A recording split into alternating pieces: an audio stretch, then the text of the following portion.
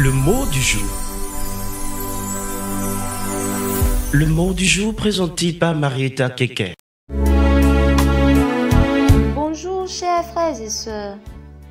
Aujourd'hui, nous parlerons des principaux témoins de l'obéissance de la foi dans la Sainte Écriture et la réponse de l'homme à Dieu qui se révèle. Dans la Sainte Écriture, quels sont les principaux témoins de l'obéissance de la foi? Il y a de nombreux témoins et particulièrement deux. Abraham qui, mis à l'épreuve, eut foi en Dieu. Romains 4, verset 3, et qui a toujours obéi à son appel.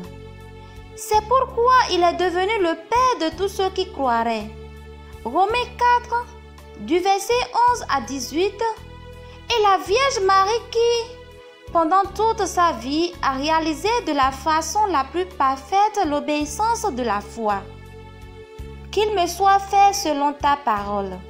Luc 1, verset 38. Quelle est la réponse de l'homme à Dieu qui se révèle?